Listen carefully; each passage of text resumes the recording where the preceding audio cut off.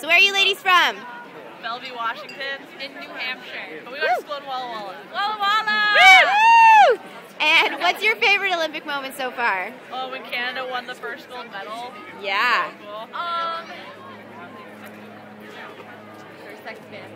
It's tough. It's tough. We're we're a Wait, let me weekend. We're a let me weekend. My favorite Olympic moment so far would have to be when. Hurry! Hurry! All of it! it's so good! Nice. Do you want to say hi to anyone? Hi, Mom! Hi, everybody.